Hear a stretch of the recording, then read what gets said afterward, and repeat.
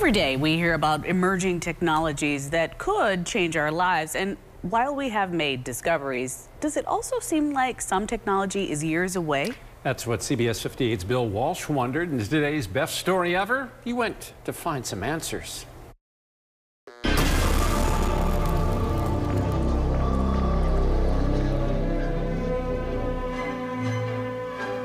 In Stanley Kubrick's 2001, people live and work on the moon and explore the entire solar system. In Terminator, Skynet became self-aware in 1997. Not all predictions are happy. And intelligent machines master time travel in 2029. 2015? You mean we're in the future? The Back to the Future movies thought we'd have flying cars by now. You're in a time machine. Yet in the real world in 2024, our rockets explode, ChatGPT is lazy, and our self-driving cars crash. Where is our cure for cancer? Where is space travel? Heck, I would settle for the kale that tastes like bacon. Anyone remember that? Since the heyday of happy days, we have been promised a brighter future. Cool stuff. Where is it? When does the future get here? Where are the flying cars? I was promised flying cars. I don't see any flying cars. Why? Why?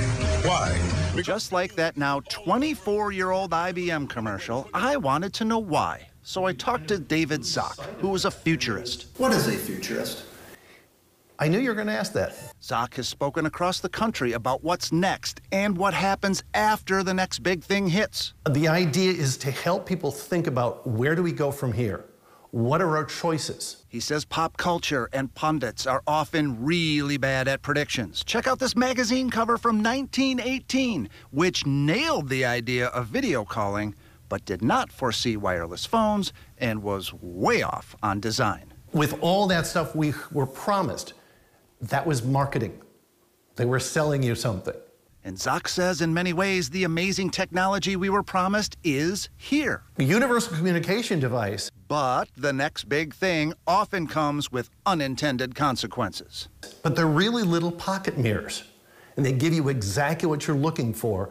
So as a result of these things, we talk to fewer people. So in looking to the future, Zach says future tech, like artificial intelligence, will lead to amazing discoveries.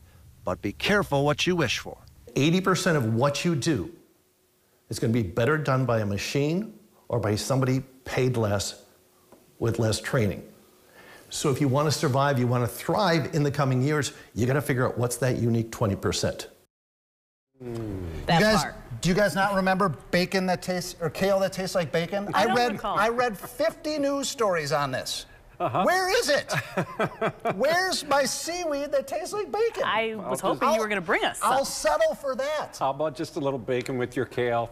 That'll be good enough, Bill. And honestly, throw some bacon bits on your kale. Are you worried about AI replacing us? Yeah, that's why I'm like, why are you doing this story? Not going to happen, Amanda. No, no, no. You have that joie de vivre that uh, cannot be replaced. Go Bill, on. Thanks again.